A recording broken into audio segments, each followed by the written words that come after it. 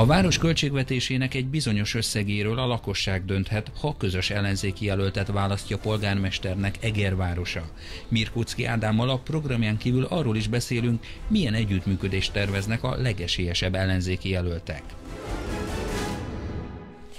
Mirkocki Ádámmal folytatjuk, tehát csak hogy gyorsan vázoljuk a nézőknek az EGRI helyzetképet. Ugye azt kell tudni, hogy Habis Lászlót indítja újra a Fidesz, aki öt éve is az akkori kormánypárti jelölt volt, Győzött ugyan, de egy nagyon megosztott ellenzékkel állt szemben, és a megyei jogú városok közül a legalacsonyabb támogatással sikerült nyernie 38%-kal, és akkor ön 26%-ot szerzett.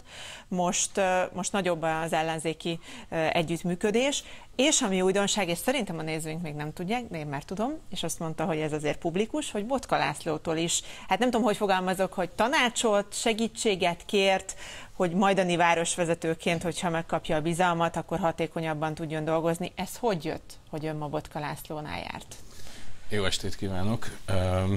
Talán az a legfontosabb, hogy személyesen szerettem volna megtapasztalni a jelenlegi kormányzati kampány tükrében egy olyan ellenzéki várost, amelyet láthatóan fejlődési pályára állított egy arra alkalmas személy és lényegében ezért jártunk Pintér Tamás, szintén város összellenzéki polgármester jelöltjével Botka Lászlónál. Ugye a Fidesz kampánya nem csak Egerben, hanem szinte mindenhol arról szól, hogy hát hogyha ellenzéki városvezetést választanak a a, a választók, az ott élők, akkor lényegében itt aztán mindennek vége, a nap se kell föl többet, minden kormányzati pénz el lesz zárva, és a többi, és a többi.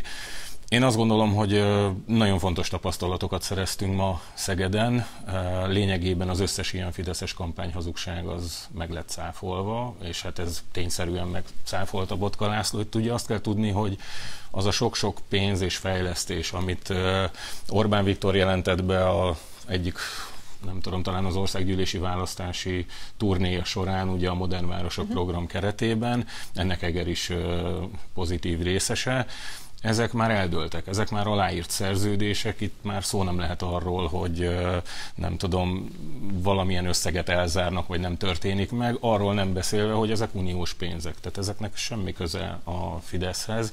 Tehát én azt gondolom, hogy ilyen szempontból nem csak az egrieket tudom megnyugtatni, hanem, hanem az ország más településén élő változást akaró többséget is, hogy ettől egyáltalán nem kell tartani. Ráadásul ugye az uniós fejlesztési pénzek 21-ig már ö, eldöntöttek, tehát azokon már nem lehet változtatni, és nyilván az majd a jövő év ö, feladata a kormány részéről, hogy a 21 után kezdődő következő uniós ciklust azt hogyan és miként tárgyalja Jó sok le. mindent mondott, ezeket majd vegyük végig, de azért szerintem azért a mi nézőink is egy pillanatra úgy fennakadtak azzal, hogy a Jobbik és akkor Botka László. Tehát, hogy ez azért az elmúlt Én... hát jó pár év előzményei után nem volt magától értetődő, kétségtelen, hogy, hogy létrejön. Kétségtelen, hogy pikáns lehet azon nézők számára egy ilyen találkozó, akik még mindig úgy tekintenek akár rám, akár másokra, hogy kizárólag pártpolitikus. Ahogy egyszerre vagyok, nem tudom, gyermek, férj, apa, úgy én azt gondolom, hogy az önkormányzati választásokon én abszolút ketté tudtam választani, és talán ez is bizonyítja, hogy nekem nem egy kommunikációs trükk az, hogy én a magam részéről a pártpolitikát lezártam.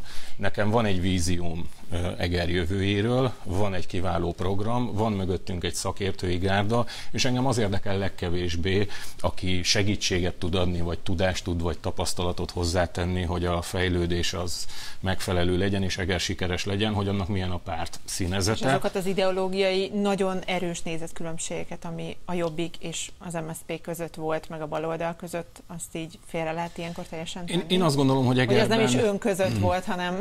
Nem, én közöttem nem, nincsenek olyan ideológiai gátak és akadályok, hogy ne tudnék bárkivel együttműködni a tekintetben, hogy Egerért mit tudunk közösen tenni. Én a kezdet-kezdetén, amikor Egerben megpróbáltam és sikerrel véghez vittem és tető alá hoztam az összellenzéki együttműködést. Nekem világos álláspontom volt az, én minden párt felé ezt kommunikáltam, hogy nincs hely a pártpolitikának. Tehát abban a pillanatban, ha mi ezt csak egy puszta matematikának gondoljuk, hogy majd összeadódnak az ellenzéki pártok százalékai, és, és aztán minden rendben, és győztünk, ha csak ez lenne mögötte, akkor azt gondolom, hogy eleve halára ítélt a történet. Én azt mondtam, hogy programközpontúnak kell lenni, alkalmas személyekkel kell nekivágni, és egyetlen kohéziós összekötőnk lehet a, egyrészt Eger szeretete, másrészt a program, hogy mit akarunk, és ezt mindenki elfogadta, tehát köztünk ilyen probléma nincs. Ami még nyilván nagy különbség abban, ahogy Botka László tudja Szegedre hozni a forrásokat, az a, egyrészt a rutin, ami nyilván mögötte van sok évnyi polgármesterség után, a, a város nagysága, a költségvetése az, hogy milyen tudásalapú beruházások vannak ott. Ebben mi az, amit Eger át tud venni?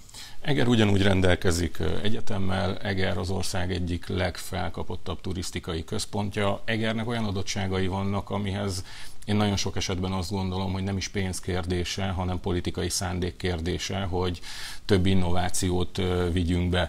Én azt... miért lett volna a Fidesznek érdeke? Én én azt látom, hogy a jelenlegi városvezetés egy borzasztóan befásult városvezetés. Tehát semmilyen innovatív ötlet, semmilyen 21. századi megoldáson nem gondolkodnak. A fejlődés lényegében abban merül ki, hogy a zöld felületek rovására a szürke térkövek és a szökőkutak szaporodnak a városban.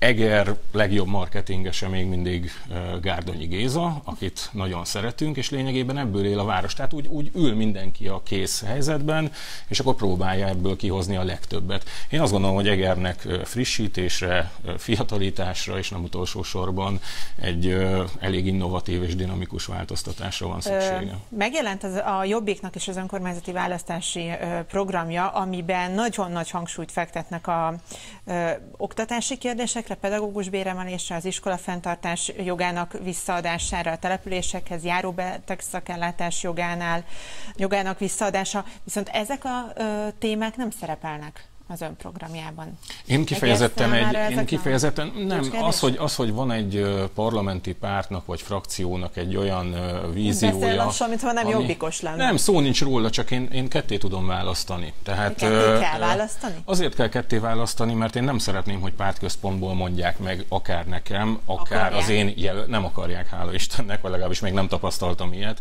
hogy Egerben mit és hogy csináljunk. Tehát én azért hangsúlyozom ezt, nem azért, mert megtagadnám a múltam, vagy szégyelnék, szégyelném a saját frakciómat vagy, vagy pártomat, hanem egyszerűen arról van szó, hogy azt mindenkinek világosan kell látni, hogy egy önkormányzati választás nem dőlhet el Budapesten, és nem lehet úgy belevágni szerintem, hogy én központi panelek mentén kezdek el helyben támogatást szerezni magamnak. Én, én a, a programom java része az igazából az elmúlt 13, sőt még több évtized mulasztásán alapul, másrészt olyan innovatív elsősorban elsősorban a közéletre vonatkozó programpontok behozatalával, amelyet nyilván országosan nem feltétlenül releváns, ezeket, Egerben viszont fontos. Ezeket olvastam, és majd térjünk rá vissza, na de azért nyilván az, hogy a szak, szak járóbeteg szakellátás joga, iskola fenntartás, hát azért ez Hát ezekkel egyetértek, de ezek olyan evidenciák, hogy helyben külön leírni szerintem nem szükséges. Hát ha most bárkit megkérdeznek, hogy több jogosítványt adna el az önkormányzatoknak nagyobb függetlenséget, nagyobb biztonságot és önállóságot a mindenkori kormányokkal szemben, hát szerintem tízből tíz ember azt mondaná, hogy persze. De ezek azok a csaták, ráadásul nem is helyben dőlnek el, hanem a parlamentben, amelyeket pártoknak kell felvállalni. Tehát itt az önkormányzati törvényt, és nagyon sok kétharmados törvényt kellene hozzá módosítani, hogy ezek megtörténjenek. Ezt nem tudjuk Egerből megoldani, Egerben azt tudjuk megoldani, ami önkormányzati szinten szabályozható. És az egriek mondjuk vevők lennének a részvételi költségvetésre, vagy az elektronikus népszavazásra? Nézze, uh, ellenzéki oldalon nagyon nagy divat, de kérdés, hogy ebbe, ebbe mennyire Én, én azt tudom rámondani, hogy szám, számomra nem mostanában kezdődött ennek a, ennek a programnak a kieszközlése, hiszen 2014-ben már próbálkoztunk népszavazásokkal. Én azt látom, hogy a Habis, vezet, Habis László vezette Fideszes önkormányzat és többség zsigerből elzárkózik mindentől, ami az egri emberek véleményén alapuló döntést jelenteni. Tehát mondok egy példát, Egerben az elmúlt 13 évben semmilyen népszavazás nem volt a Habis polgármester úr... Lehet, hogy sok településre elmondta. Lehet, hogy így van, de azt nem tudom, hogy hány helyen volt rá igény. Mi többet is benyújtottunk, nem csak most, 2014-ben is, és az elmúlt hónapokban is. Mindegyiket mondva csináltokkal kaszálták el.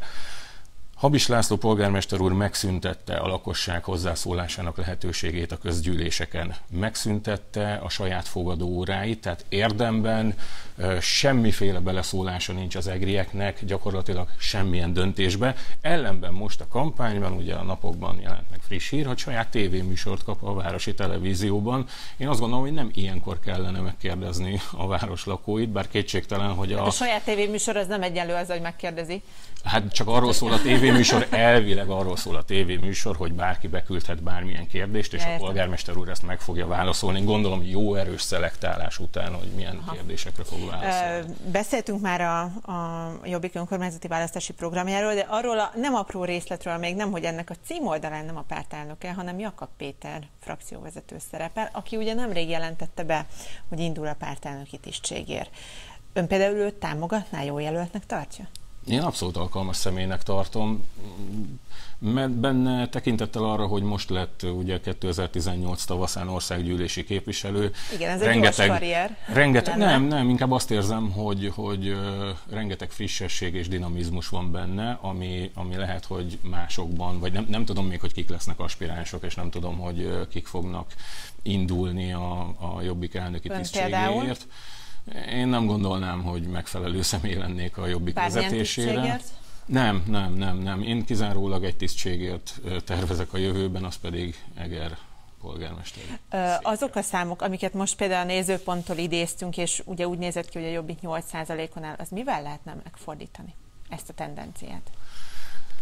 Hát ez egy nagyon jó kérdés. Én azt gondolom, hogy hát ezért gondolom, meg kell találni, rajta. persze, persze, és van is, van is számtalan ötlet, ami ma még nem publikus, és nyilván a, a, az önkormányzati választások után jön el az idő arra, hogy akkor újra az országos politikára koncentráljanak a, a képviselőtársaim és a Jobbik majdani elnöksége.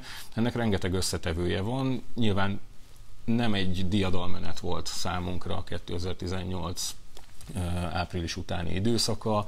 Én azt gondolom, hogy a Jobbik történelmének legnagyobb válságán van túl. Egyrészt a, a belső konfliktusokkal, másrészt az állami számbevőszék általi teljes anyagi ellehetetlenítésre, és nagyon sok egyébre. Én, én úgy fogalmazok, hogy kész csoda, hogy itt tart jelenleg. Tehát, hogy egy pártal se csinálták Na, ez volt ezt. a múlt, a jövőről sok konkrétumot akkor nem hallottunk, de majd akkor a választás után lejárt az időnk. Köszönöm szépen. Én, én is köszönöm.